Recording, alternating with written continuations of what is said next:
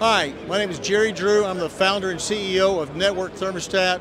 Glad to be uh, talking with you today here at CIX uh, 2024. I'm going to show you a little bit about what we're um, showing uh, here at CIX, uh, namely our X7 thermostat ecosystem, which is substantially different than any other thermostat that you've probably played with, in that this is a connected thermostat with both Wi-Fi and Ethernet connectivity, as well as uh, all kinds of commercial features such as an embedded web server with a responsive design, uh, beautiful 22 and a half inch color touchscreen thermostat, again with embedded web server and design, uh, responsive design, and a plethora of remote sensors. The remote sensor is actually on a communications bus of its own that allows up to 11 different remote sensors on a thermostat with 16 different sensor types.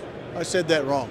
With, with up to 11 different remote sensors, each can be of the same or different uh, selectivity off of a single universal remote sensor that can be selected to report as an indoor tip and humidity, outdoor auxiliary temp sensors, CO2 sensor, VOC sensor, combination sensor, water leak sensing, and all of that integrated into the X7 ecosystem that allows us to do email and text message alerting, as well as being able to take action on those sensors, such as turning off equipment, closing water valve if there's a leak, opening up a fresh air damper, uh, uh, helping managing CO2 and humidity, uh, all within the same ecosystem.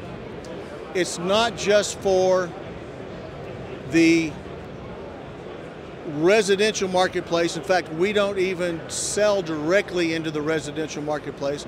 We don't sell retail. Everything goes through dealer networks. We'd love to have you go to networkthermostat.com and find out more information. Contact us there.